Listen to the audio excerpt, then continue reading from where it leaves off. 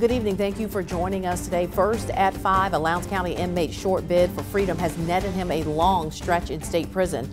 Terry LaShawn Brooks was sentenced to 32 years in prison today in Lowndes County Circuit Court.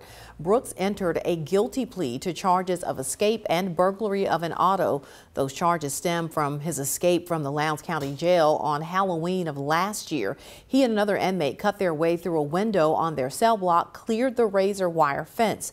That night, Brooks also attempted to steal a car from Columbus Motors. He was sentenced as a habitual offender to 12 years for the escape and burglary charges. That means he will have to serve those 12 years day for day. He was also sentenced to 20 years for a separate possession of cocaine charge. With those two sentences running consecutively, Brooks could spend a total of 32 years in prison.